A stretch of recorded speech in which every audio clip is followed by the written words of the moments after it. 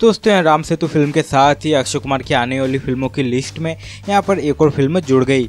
और जैसे कि इसी के साथ 2021 में आने वाली अक्षय कुमार की फ़िल्मों की लिस्ट में यहाँ पर राम सेतु जैसी बड़ी फ़िल्म भी जुड़ गई। हालाँकि जैसे कि अक्षय कुमार इन फ़िल्मों की शूटिंग 2021 में कंप्लीट तो कर लेंगे। हालाँकि जैसे कि इन फ़िल्मों की रिलीज़ डेट के कारण यहाँ पर इन सभी फ़िल्मों का 2021 में आना मुश्किल है। लेकिन जैसे कि हम बात करें अक्षय कुमार की आने वाली इन फ़िल्मों की, जो कि हमें 2021 में देखने को मिल सकती है। दोस्तों, जैसे कि यहाँ अक्षय कुमार की सूर्यवंशी, जो कि बनकर तैयार है और इसमें सूर्यवंशी को 2021 मार्च के अंदर अंदर रिलीज़ करने की प्लानिंग चल रही है। और वहीं जैसे कि अक्षय कुमार ने अपनी फ़िल्म बेल बॉटम को भी कंप्लीट कर रखा है और इसमें बेल बॉटम भी रिलीज़ के लिए तैयार है। साथ ही जैसे कि अक्षय कुमार की अतरंगी रे, जिसकी शूटिंग अक्षय कुमार कर ही रहे हैं। और जैसे कि अक्षय कुमार पृथ्वीराज की शूटिंग में भी लगे हुए है और इसमें अक्षय कुमार इन दोनों फ़िल्मों की शूटिंग काफ़ी जल्दी कंप्लीट कर लेंगे। और वहीं जैसे कि अक्षय कुमार 2021 की शुरुआत में, यानी कि 2021 जनवरी से, यहाँ पर बच्चन पांडे की शूटिंग शुरू करने वाले हैं, जिसका की शूटिंग शेड्यूल साठ दिनों का रखा गया है।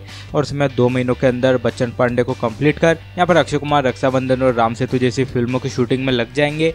इसमें तो जैसे कि यहाँ दो हज़ार इक्कीस की शुरुआत तक। यहाँ पर अक्षय कुमार की चार फ़िल्में जो कि यहाँ रिलीज़ के लिए तैयार रहेगी। और वही 2021 के अंदर यहाँ पर अक्षय कुमार अपनी चार से पाँच फ़िल्मों की शूटिंग को कंप्लीट कर लेंगे। तो जैसे कि अक्षय कुमार के नाम काफ़ी सारी फ़िल्में और जैसे कि इनमें से काफ़ी सारी फ़िल्में तो हमें 2021 को ही देखने को मिल सकती है। इस मस्ते अक्षय कुमार की आने वाली इन फ़िल्मों में से आप किस फ़िल्म के लिए सबसे ज़्यादा एक्साइटेड है, हमें कमेंट कर बताएँ। साथ ही और बॉलीवुड से जुड़े लेटेस्ट अपडेट के लिए चैनल को सब्सक्राइब करें लाइक शेयर कमेंट ज़रूर करें।